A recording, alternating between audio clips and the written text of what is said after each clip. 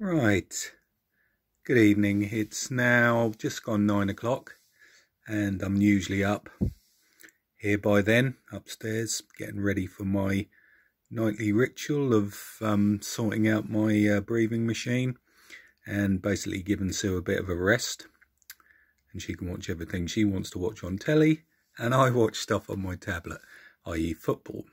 I'm just going to be very short and sweet. I'm just going to show you my breathing machine and how how it's set up and everything. So this is my breathing machine. There she be.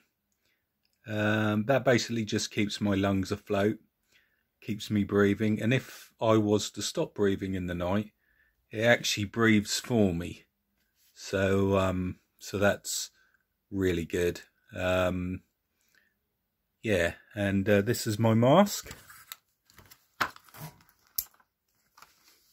which I have to wear, otherwise, because my lungs aren't strong enough, um, when I lay flat, um, I would be gasping for air.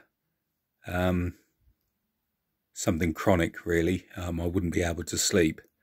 I'd have to sit up and um, yeah, it wouldn't be good. So what I'm going to do is I'm just going to put my mask on.